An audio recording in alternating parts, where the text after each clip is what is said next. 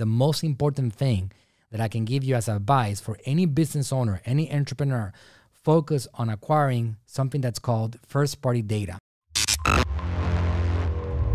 Well, I think that um, there's a lot of opportunities in today's environment. Things are, cha- are changing in the world of marketing uh, a lot.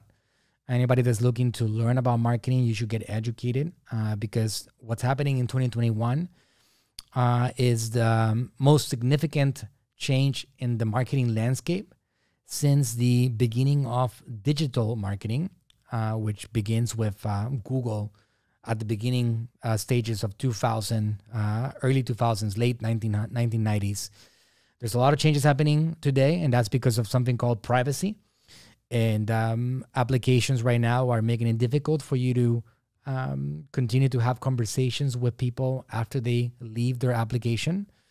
Uh, Facebook does not allow you, it's not Facebook's fault. They're being forced by platforms like uh, they're being forced by Apple to ask per- permission from people to track them, and you have to adjust your strategy. So the one thing that I would tell you, because this is a very big subject, is you got to stay up to date. You got to look for content and find out what's working right now. The most important thing that I can give you as advice for any business owner, any entrepreneur, focus on acquiring something that's called first party data, which means an individual's personal volunteered information about themselves their phone numbers, their emails, their names.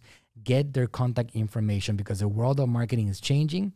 And the ones that are going to make it as business owners are the ones that have acquired larger and larger list of people that have volunteered to give them their information, not acquiring list in bulk, but actually getting people to give you their information so you can nurture and provide value and educate and hopefully lead them down a customer journey.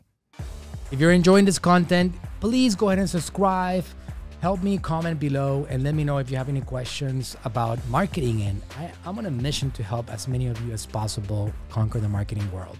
So help me out. Subscribe, hit that button, hit that bell, get notified. We're going heavy with content in this 2021 year and beyond. Go ahead and subscribe right now.